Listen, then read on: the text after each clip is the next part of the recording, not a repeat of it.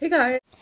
Amber did another weighing at the doctor, and we get to watch it in this vlog. You know what? I don't think for her dietitian appointments, she never mentioned that she gets weighed in. I don't think she did. Correct me if I'm wrong in the comments down below. And while you're there, hit like and subscribe.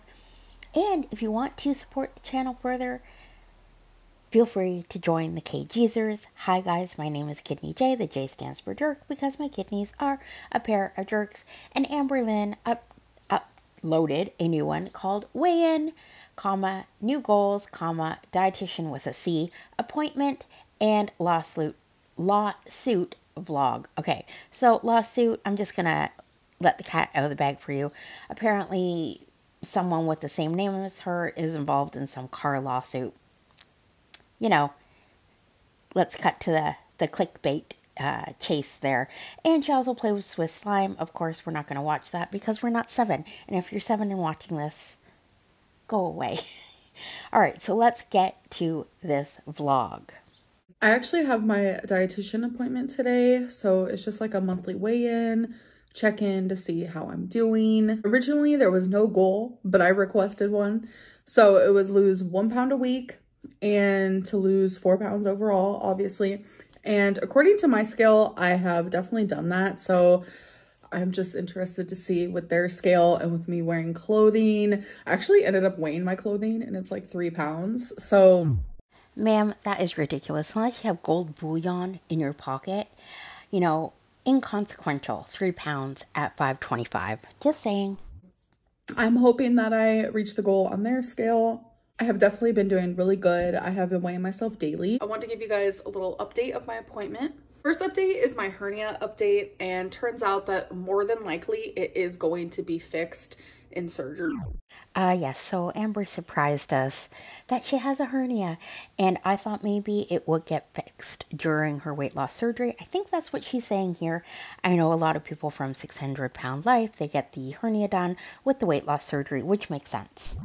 Second update is my gallbladder. I still have to go get that checked. I finally actually have a physical order to go and physically get my gallbladder checked. So I only have that left to do before I can get approved for weight loss surgery. I have to get another EKG and then I have to just finish these 12 sessions, which I only have 9, 10, 11, 12, four more. So the next update is like my diet update. So as you guys know, my dietitian um, wanted me to do 2200 calories to 2500 calories and she gave me some macro goals and I was following that. And she noticed and I noticed collectively that it was just too many calories. I know a lot of people sit here and think that with my weight, I should be able to eat 2,500 calories and lose weight like this. And that's just not realistic because I do have lipedema. I have a very, very, very bad case of lipedema. You guys have seen my legs and lipedema is abnormal fat that does not want to go away no matter how much you diet. It just wants to get bigger and collect more fat cells. And that is what I am struggling with.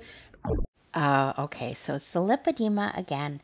Um, when she was first diagnosed with this, which I think was late last year, she was supposed to have a follow up appointment. I don't think she ever did that.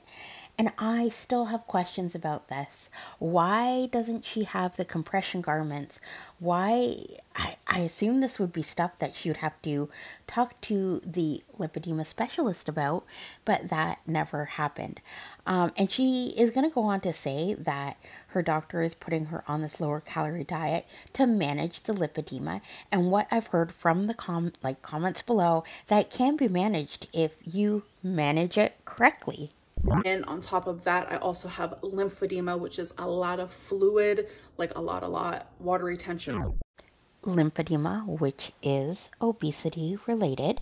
And we noticed that 2,500 calories is just too much for me. So instead of following any macros, she said, do not worry about that and just stick to an 1,800 to a 2,000 calorie so next is like an exercise update. As you guys know, I have been doing like these little exercises. I showed you guys in a vlog before. Obviously, I didn't physically show you just because I feel like self-conscious to do so. But I am willing if my supporters want to see more of like the exercises I am doing. She said that she does want me to continue to exercise uh, two times a week. My next appointment is already scheduled and it is around the exact same time where I have my last therapy session before I can get approved or whatever it may be for weight loss surgery. Um, so that next appointment is like reassessment to see what else needs to be done or if I am freaking ready for weight loss surgery.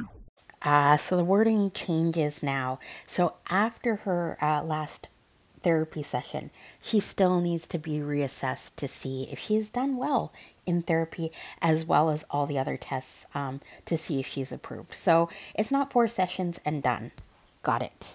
Now we just got to work on getting my lipedema and lymphedema on the same page as like my brain, my heart, and like my calories. So that's why she did lower my calorie limit pretty drastically. So I should have taken a picture, but I do want to uh, tell you guys my weight from my scale at home. And then I want to show you guys, because I did remember to film it, um, the weight that I had on the scale at the office. So my weight at home today was 521.8. So I was expecting to be around, I would say about 525. That is what I was expecting. So here is the clip. So there it is. So uh, there it is. And then we can, uh, I guess, get a good idea what the difference between her scale is and what the scale says at the clinic. Most scales will vary. That doesn't mean your weight changes, obviously. You know, I go dialysis, I walk from one scale to the other, and I could be, you know, one kilo, 0.7 kilo less than the other scale. Doesn't mean I lost weight walking to the other scale. Um, yeah, so that's all her weight loss surgery updates. Uh, I guess her, she also says her next dietitian appointment is next month at the same time. So We'll see what uh, what it is and if this new drastic calorie reduction throws her off. Probably. We'll see. Okay, guys, thanks for watching. If you made it this far, thank you very much. Don't forget to uh, leave a like on your way out, I'll talk to you later. Bye.